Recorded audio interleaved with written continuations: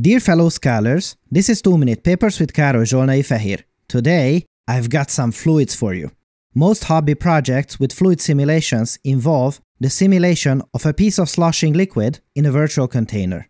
However, if you have a more elaborate project at hand, the story is not so simple anymore.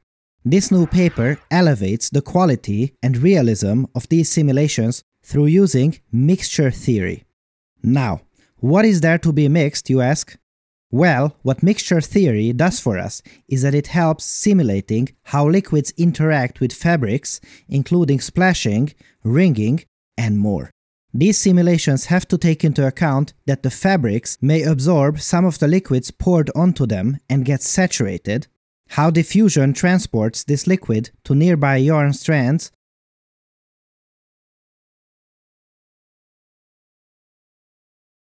or what you see here is a simulation with porous plastic, where water flows off of and also through this material as well. Here you see how it can simulate honey dripping down on a piece of cloth. This is a real good one. If you're a parent with small children, you probably have lots of experience with this situation and can assess the quality of this simulation really well. The visual fidelity of these simulations is truly second to none. I love it. Now, the question naturally arises, how do we know if these simulations are close to what would happen in reality? We don't just make a simulation and accept it as true to life if it looks good, right? Well, of course not. The paper also contains comparisons against real-world laboratory results to ensure the validity of these results, so make sure to have a look at it in the video description.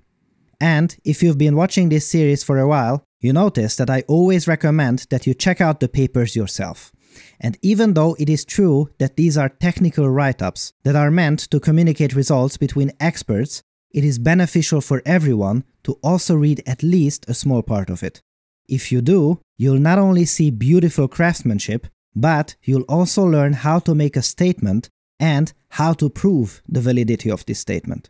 This is a skill that is necessary to find truth. So, please, read your papers. Thanks for watching and for your generous support, and I'll see you next time.